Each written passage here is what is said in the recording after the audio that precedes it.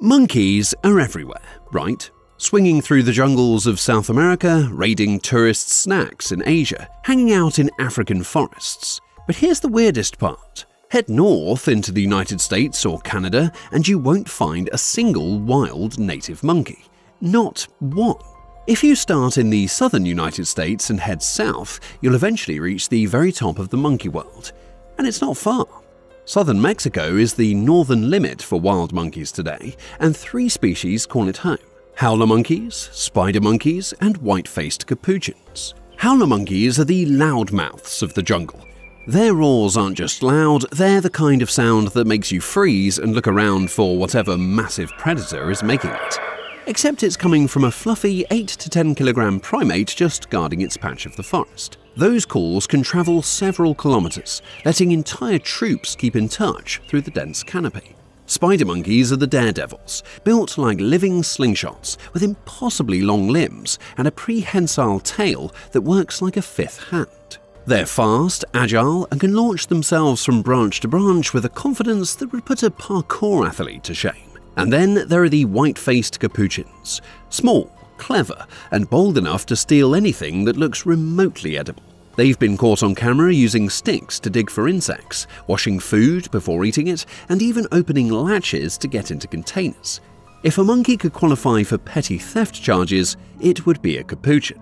These species live in warm, tropical rainforests packed with fruit, leaves, insects, and flowers. Food sources available year round. Temperatures stay comfortably high, rain is frequent, and there's no season when life in the trees slows down. What's most interesting is just how close they are to the US border. In some areas, they live less than 1,500 kilometers away. In wildlife terms, that's practically next door. Plenty of other animals, jaguars, pumas, even smaller species like armadillos, have managed to expand their range much farther than that. So why haven't monkeys done the same? They're mobile, intelligent, adaptable, and yet their northern limit has been the same for thousands of years. It's almost as if there's an invisible barrier holding them back. And it turns out, there is. To understand why monkeys never made it into North America, we have to zoom way out, not just on a map, but through time. For most of their evolutionary history, monkeys lived on a completely different island continent, South America. And for tens of millions of years, that continent was as isolated as Australia is today. No bridges, no causeways, just thousands of kilometers of open ocean in every direction. The ancestors of New World monkeys, the ones we see in Central and South America today, are believed to have arrived from Africa around 35 million years ago, most likely by accident. Back then, Africa was closer to South America than it is now, and chunks of vegetation big enough to carry small animals could drift across the Atlantic. It sounds crazy, but we've seen similar rafting events happen in modern times. Once those early primates landed in South America, they evolved into the dozens of monkey species we know today. The key thing is this for almost all of that time, South America had no land connection to North America. The gap between them, the Central American Seaway, was a deep stretch of ocean. Animals could swim or fly across if they were capable, but for forest dwelling monkeys, it was an impossible trip. That all changed about 3 million years ago, when tectonic activity pushed land up between the two continents, forming the Isthmus of Panama. Suddenly, there was a bridge. This event triggered what scientists call the Great American Biotic Interchange, a mass migration in both directions. Armadillos, opossums, and porcupines moved north. Horses, bears, and cats moved south. But there was a catch. By the time this land bridge formed, monkeys were already limited to the warm tropical forests far to the south. To reach what is now the US, they would have had to move thousands of kilometers through new and unfamiliar territory, passing through environments that weren't quite as friendly as their home jungles. For now, what matters is that monkeys simply got a late start. When the continents finally connected, they had a narrow window to move north, and other animals were faster to take advantage of the opportunity. Even if monkeys had tried to push north after the land bridge formed, they would have hit a wall that had nothing to do with geography, the climate. Monkeys, especially New World monkeys, are built for life in the tropics. Their bodies aren't designed to handle frost, snow, or even long stretches of cool weather. They don't grow thick winter coats. They don't store large fat reserves like some mammals do, and they rely heavily on a year round buffet of fruits, leaves, and insects. That's perfect in the lush rainforests of Central and South America, but once you head north, those resources get seasonal. In temperate forests, winter strips the trees bare. Many fruits vanish for months, insect activity drops, and even the leaves they might eat are gone. Sure, some animals cope by hibernating or caching food, but monkeys don't hibernate, and their diet isn't suited for long term storage. For them, winter isn't just inconvenient, it's life threatening. There's also the issue of rain. Tropical monkeys are used to steady rainfall spread throughout the year, keeping forests green and food production constant. Northern climates often have wet and dry seasons, or unpredictable rainfall patterns, which can leave long stretches without their preferred foods. Temperature swings pose another challenge. In many parts of North America, even areas that get warm in summer can drop to near freezing at night in the winter. For a primate with little insulation, that's a recipe for hypothermia. All of this means that as monkeys moved north, they would have found fewer and fewer areas that could support them year round.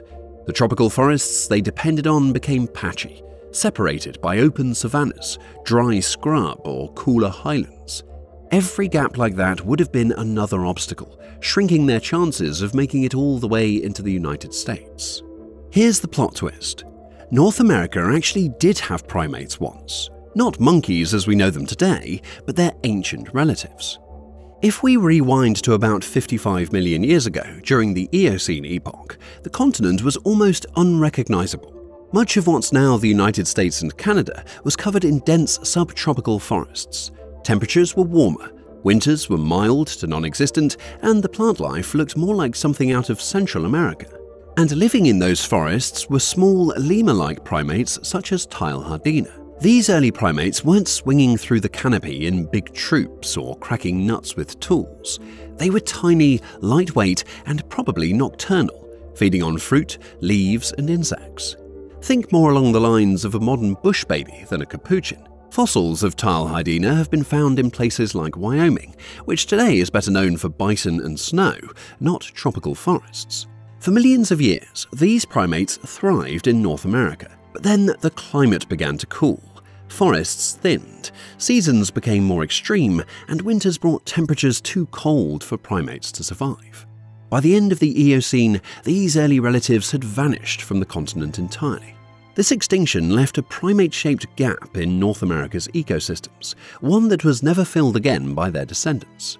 By the time monkeys evolved and diversified far to the south, the northern landscapes had already shifted towards cooler, more seasonal environments that were hostile to most primates.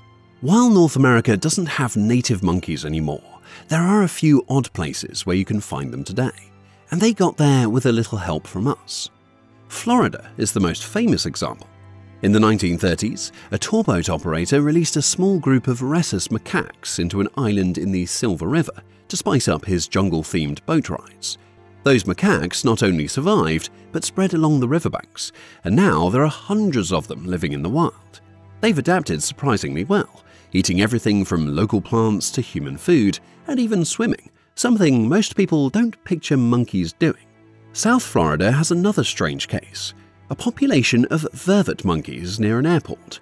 These ones likely escaped from a research facility decades ago and have been quietly living in mangroves and suburbs ever since. They keep to themselves for the most part, but sightings still surprise locals who don't expect to see a troop of African monkeys hanging out in Florida. Puerto Rico, while not part of the continental US, also has its own colonies of rhesus macaques and patas monkeys, both introduced for research in the mid 20th century. With the island's tropical climate, they've done well, although they sometimes run into conflict with farmers. The key thing with all of these populations is that they survive only in warm, frost free environments. They haven't spread far beyond their starting points, because the moment they hit a colder or drier region, their survival odds drop fast. They're not expanding into the rest of the continent, they're holding on to these small, favourable pockets. They're the exceptions that prove the rule Monkeys can live in parts of North America today, but only where the climate gives them a fighting chance. Let's say someone released a group of Central American monkeys into the wild in North America today. Could they make it? In the warmest parts of the continent, like southern Florida, the Rio Grande Valley in Texas, or certain sheltered areas of coastal California, they might stand a chance. These places stay mild year round, have plenty of vegetation, and already support other tropical escapees like iguanas and parrots. But life wouldn't be easy. Predators like hawks, eagles, bobcats, and coyotes would be new threats for species used to different predator lineups in Central America. Food could still be a challenge in the cooler months, especially during droughts or if fruiting trees have off seasons. Over decades, the most adaptable species, probably capuchins, could establish stable populations in the warmest regions, but it's unlikely they'd spread far beyond those pockets. The same environmental limits that stopped them in the past would still be in play today.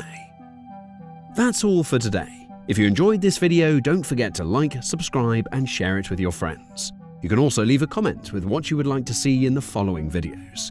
Thanks for watching, and see you next time.